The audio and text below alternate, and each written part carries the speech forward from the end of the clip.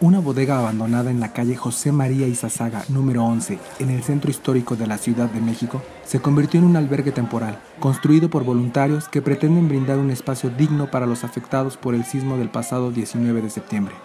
El albergue surgió con 10 voluntarios que comenzaron a limpiar hasta llegar a unos 200 colaboradores que contribuyen a mejorar el lugar en distintos sectores. Brigadistas comentaron que la ayuda debe seguir fluyendo y que una vez que pase la emergencia, si la sociedad se une de la misma manera para reconstruir las casas, se podrá volver a la normalidad en menos tiempo. Con información e imágenes de Gerardo Avendaño, Notimex.